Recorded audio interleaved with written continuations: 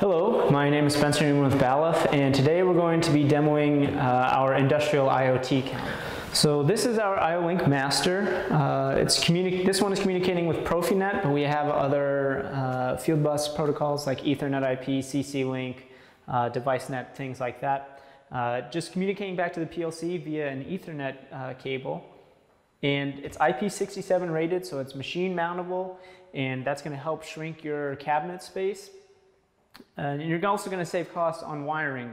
Uh, you're not having to take all of the sensor and device cables directly back to the PLC. You're just hooking up with a standard M12 sensor cable right into the master. Uh, so on the master, there's uh, eight ports here, and each port has a status indicator. Green is showing that's communicating uh, IO-Link with the device.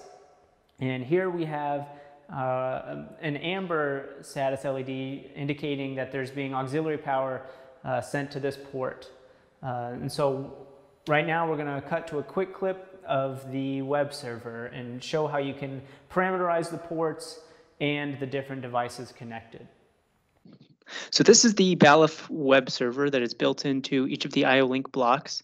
As you can see, we can see what is what device is connected to each port. And as you can see here, this green LED is indicating that it is communicating with IO-Link.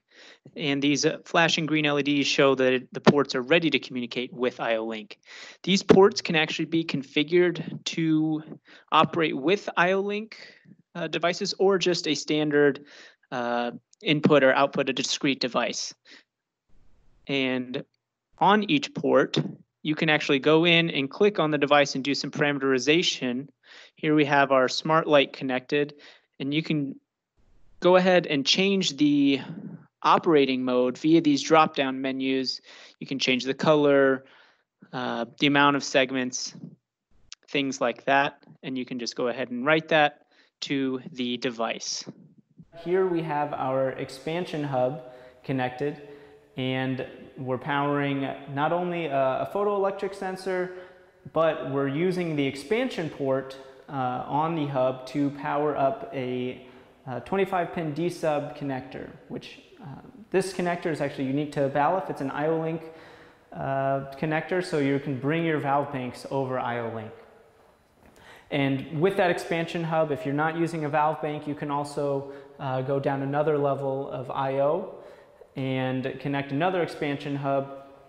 So if you did that with all eight ports and had two expansion hubs uh, for each port, you could have up to 240 points of I.O. on one master block on one IP address.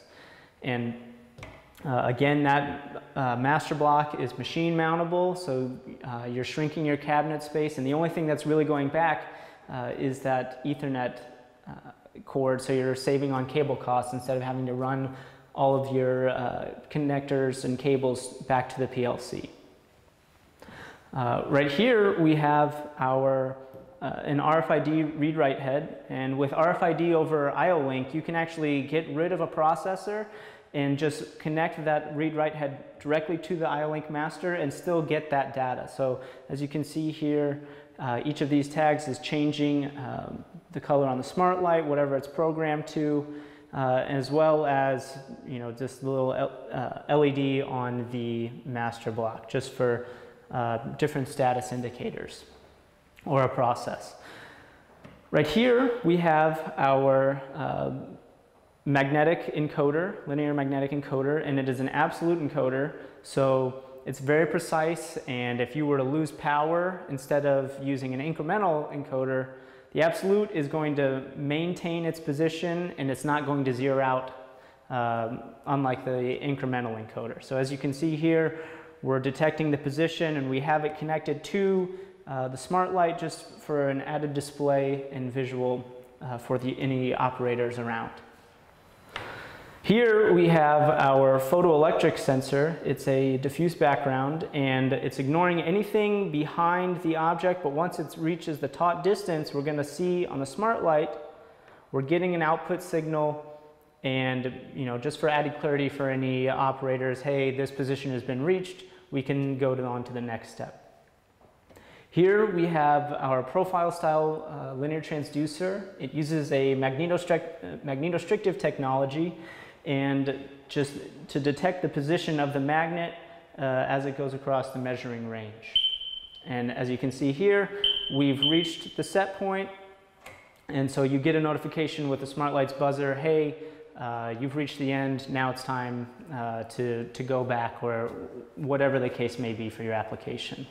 Uh, these BTLs can come in many lengths up to 7.62 meters or about 25 feet. And they're all made here in Florence, Kentucky with a standard lead time of about five days uh, from build to ship. Uh, but in emergencies, you know, if you really need it, we can overnight it and get that to you in about one or two days.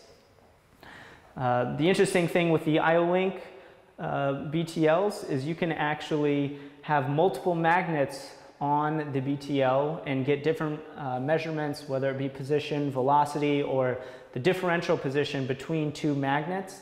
And so you can actually get up to 32 measurements using 16 magnets on an IO-Link uh, BTL.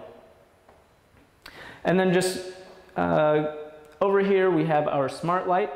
Again, it's just kind of showing the different uh, functionalities that it has. The, here it's showing our run light mode. You can change the background or foreground color to any specified uh, color that you wish.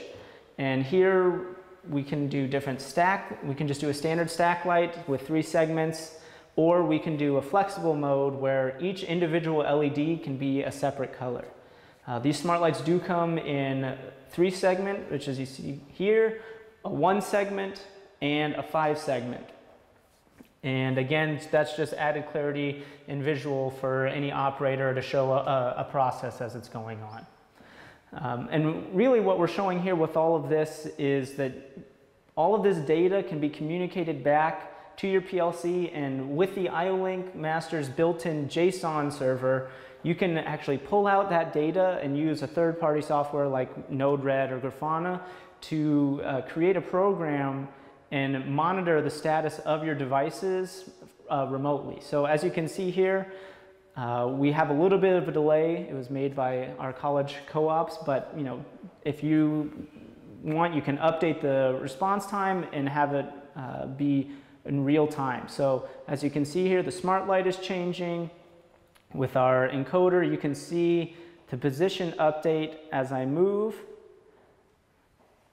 There we go. And again, the smart light is still indicating that level change. Uh, here you can uh, see the BTL level is changing uh, with that position. Here we go. And as you can see here, we have our valve bank. So once I initiate that sequence with this photoelectric sensor, you can see it cycle through uh, all, of the, all of its uh, coils. For more information, visit balluff.com.